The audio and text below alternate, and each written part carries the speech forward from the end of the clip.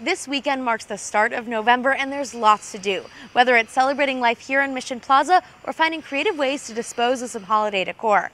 I'm meteorologist Vivian Rennie covering your Central Coast community events, and here's a look at things going on this weekend that you won't want to miss.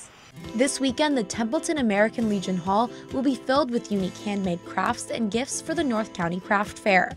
From 10 a.m. to 3 p.m. Saturday and Sunday, enjoy the crafts, treats, and treasures. Proceeds go to the Central Coast Quilts of Valor Foundation.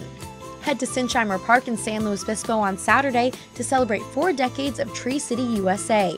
From 10 a.m. to noon, the park will fill with vendor booths, giveaways, and more, plus help plant trees along the Railroad Safety Trail.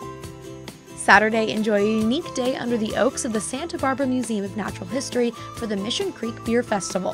From 2 p.m. to 5 p.m., enjoy tastings of local beers and bites, plus live music, museum demonstrations, and more.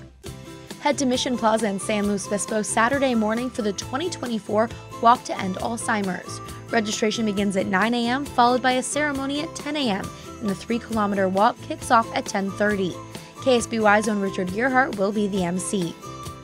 Bring your old pumpkins and gourds to the Town Center West parking lot Sunday for the third annual Santa Maria Pumpkin Smash. From 1 p.m. to 3 p.m., take aim at several targets or try your hand at pumpkin bowling. This fun event will help to divert pumpkins from the landfill so they can be used for compost. Celebrate Dia de los Muertos in San Luis Obispo on Sunday in Mission Plaza. From 2 p.m. to 6 p.m., the free event will feature Aztec dancers, ballet folklorico, mariachi, face painting, a costume contest, ofrendas, food, and so much more. This celebration is hosted by the Latino Outreach Council. For full details on these events and so many more, you can visit the Six Things tab on KSBY.com. Covering your Central Coast community events, Vivian Rennie, KSBY News.